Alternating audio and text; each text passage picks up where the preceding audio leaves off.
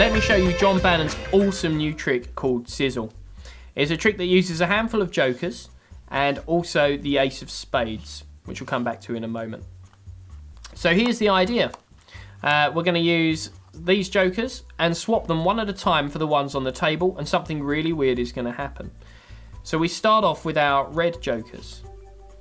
And I'm going to swap one of those, this one here, uh, for the first joker on the table, which is actually from a blue pack.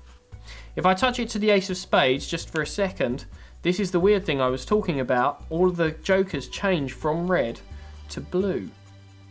And it doesn't just work once, I'll show you again. Uh, we'll swap this joker out uh, for this one, which is green this time, different design as well, and just touch it to the ace of spades for a second, and all of the jokers change from blue to green. You got one more chance to catch me out, so uh, we'll swap the green joker here for this one here, which is purple. Touch it to the ace of spades just for a second, and all of the jokers change, this time from green to purple.